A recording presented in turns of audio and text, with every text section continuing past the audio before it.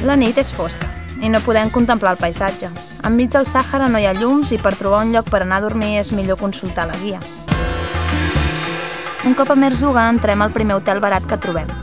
Demanem que ens deixin fer una ullada per si de cas. No les tenim totes. La casa és força tètrica. La dutxa és bastant cutre. Què fem, Belén? Ens la juguem o què? Doncs ja està. Sí. Apa, doncs, ens hi quedem. És nit de lluna plena i gairebé no hem dormit. Ens hem aixecat a quarts de cinc del matí per posar-nos a caminar.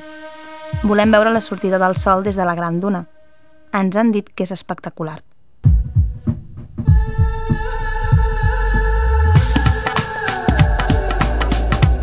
Ens sembla que hi arribem de pressa, perquè es veu al costat de l'hotel. Però la pujadeta té tela. Bé si no hi arribarem a temps.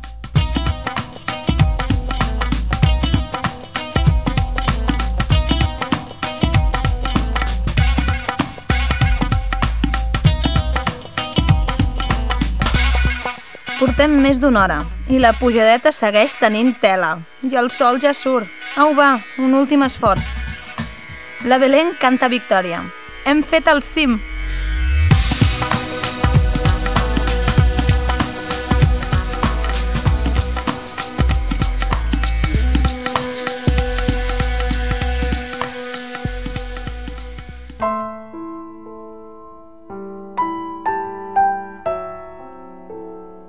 Estem esgotades, però valia la pena. És impressionant. Un autèntic espectacle de llums i de colors. La sorra canvia de tonalitats a mesura que es va alçant el sol. La sensació d'immensitat i de força de la natura que imposa el desert ens ha deixat mudes. No podem fer res més que mirar, mirar, mirar.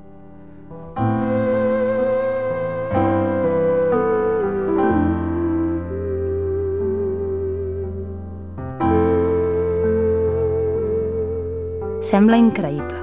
Fa 24 hores érem a fes envoltades d'un cacau de gent i de moviment que ens atabalava. I ara estem soles en un racó del planeta on només hi ha sorra i cel.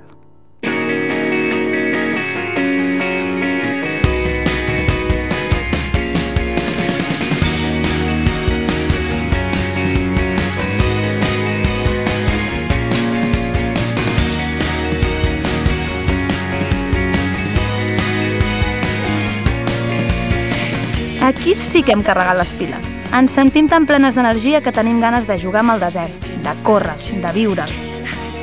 I és que per entendre bé un país no n'hi ha prou comunicant-se amb la gent. També cal fer-ho amb el paisatge.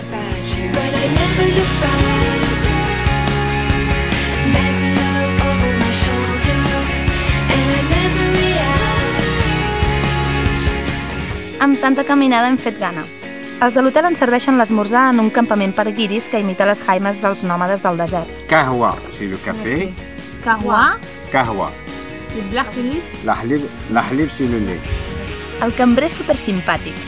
Ens confessa que va disfressat de tuareg per complaure els turistes i ens ensenya el típic esmorzar del Marroc.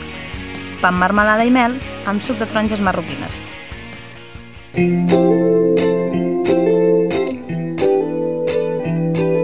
L'amo de l'hotel també s'enrotlla i ens vol fer sentir com a casa. Bé, com a casa seva. Per això, com mana la tradició, ens fa un te amb menta. Tot un ritual que es manté en els costums marroquins. Abans que res ens aclareix que som a la regió dels berbers del sud i el te que ens prepara és el saharaui, que es diferencia del normal perquè després de bullir es torna a bullir i al final queda molt més fort.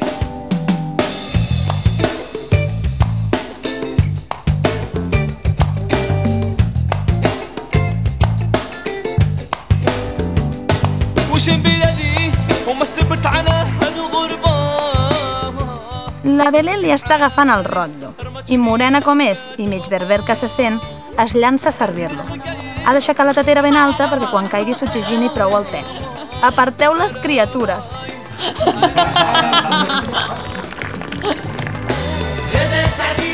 La cerimònia del te és molt més que una qüestió gastronòmica. És una excusa perfecta per conversar i una manera de conèixer la cultura marroquina.